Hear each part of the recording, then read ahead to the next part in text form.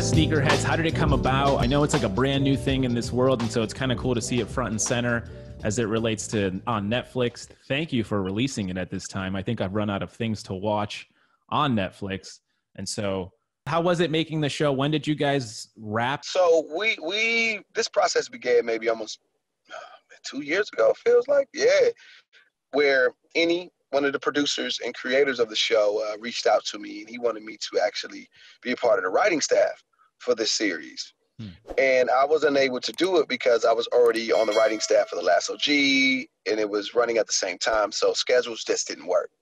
Then he reached out again and, you know, wanted me to play the role of Devin for the show. So, you know, the developing process of that, I wanted to, I handpicked who I wanted to be Bobby, in which I thought Bach was the the perfect guy for. So I reached out and he, you know, he did me a favor to do the show.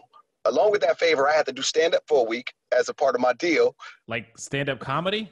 Stand up comedy. I did stand up for comedy for a week because me and Bach are friends. Like me and Bach are friends. So okay. he was like, if I do your show, all right, as a part of the deal, you got to do stand up. I said, all right, that's the deal. it's a deal. So wow. I guess what I'm saying is that it's been a process of love and family. You know what I'm saying? And having Bach come aboard and just growing that family with Matt and Jearnest and Yani and, and all the different casts that are on the show. This has been a process from going this from this small show that Complex was producing and its highest hopes probably being on like a digital platform, not mm. the likes of Netflix to where it is now is incredible. And uh, it's been a it's been a dope process seeing it all develop and seeing how the sneaker culture and just the world of them has embraced this story. And you guys shot a lot of that here in LA, right? Like right on Fairfax, it looks like. Yeah, yeah, yeah. yeah. We yeah. shot we shot most of that in LA. Then we we took uh we went to we took a trip to Hong Kong, man.